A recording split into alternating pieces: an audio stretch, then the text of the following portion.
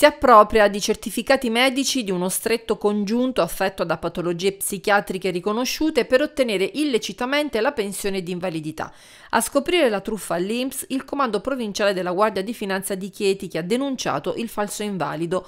L'uomo ha percepito indebitamente la pensione di invalidità per due anni. Determinante è stata la segnalazione effettuata da un cittadino al numero di pubblica utilità 117 che evidenziava come il soggetto, pur percependo il beneficio, conducesse una vita assolutamente normale, frequentava palestre e guidava la propria auto, pur avendo riconosciute gravi patologie di tipo psichiatrico. Svolte le indagini, anche mediante appostamenti e rilievi fotografici, i finanzieri hanno scoperto il modus operandi truffaldino messo in atto dal falso invalido, che aveva sostituito il proprio nome con quello del suo congiunto effettivamente portatore di handicap, traendo così in inganno i membri della commissione medica. Nel corso delle indagini sono state acquisite anche certificazioni sanitarie prodotte da strutture pubbliche risultate totalmente false e riferite a visite mediche mai effettuate. Il falso invalido è stato segnalato all'Inps che si attiverà per il recupero di oltre 16.000 euro. L'uomo è indagato per truffa aggravata e falsità materiale.